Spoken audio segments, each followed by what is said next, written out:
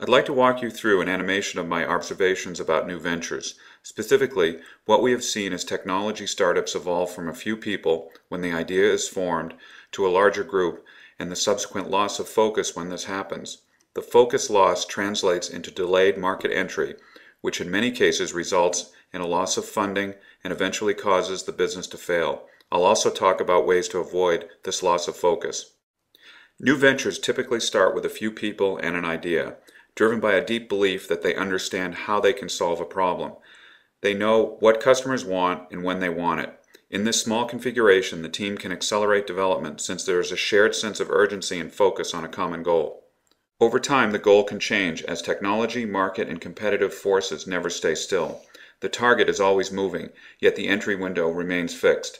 The engineering prototype created by this focused group of people enables the next round of funding to be secured, which in turn funds the growing team. The target keeps changing too, yet there still is maximum excitement about the future of what is clearly going to be a successful venture. New people bring new skills. They also bring the baggage from all their other corporate experiences. At IBM, we did it this way. At Intel, we did it that way. At Apple, we would always do the opposite of IBM and Intel, and so on.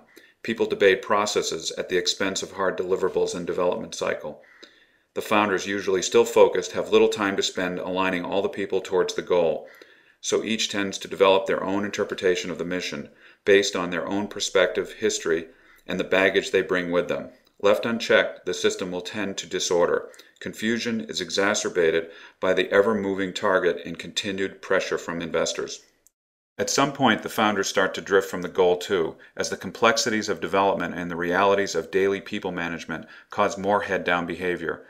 The detail tends to overwhelm. The schedule starts to slip. This is the most unstable state, and money is also running out. The push is on to validate the product with real customers in order to raise the next round of funding. Solution Abandon the project structure. Default back to the known norm, which is the hierarchical organizational structure. It worked in the big company I used to work at, so they rationalized, so it should work here in this little one. Let's make some VPs and directors and create some structure, they say. This usually starts in engineering and spreads to create the classic functional silos like marketing, operations, finance, and so on. The focus becomes departmental goals, losing sight of the customer and the product in the process. With this more comfortable hierarchy comes vertical communication and vertical information flow. Horizontal or lateral communication is discouraged. Information flows up the hierarchy before it can flow across the functional silos and back down to the people that need it. Order is restored at the expense of speed. The target slips further, past the market window, that makes this technology a viable competitor. But since the emphasis is internal, most are not even aware of the external world now. Customer who? Investors express concern as committed target dates are missed and the burn rate accelerates. Fast time to market solution we've deployed at this stage is a reset back to the project or product structure, back to a lateral process orientation and away from the vertical hierarchy.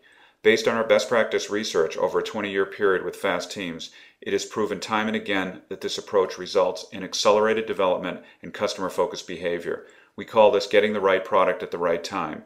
We organize these people clusters around customer-focused milestones, which by definition are cross-functional integration points in the development cycle.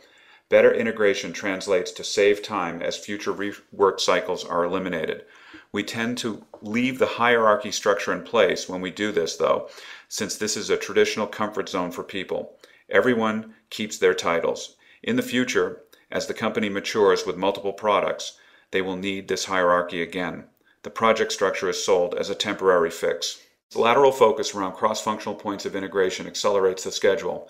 Communication is fast and efficient. The backbone of the communication system is the integrated and realistic schedule. This is the scorecard. It records slips and pull-ins. It provides the trending information that is needed to take before the fact actions, rather than after things have already slipped.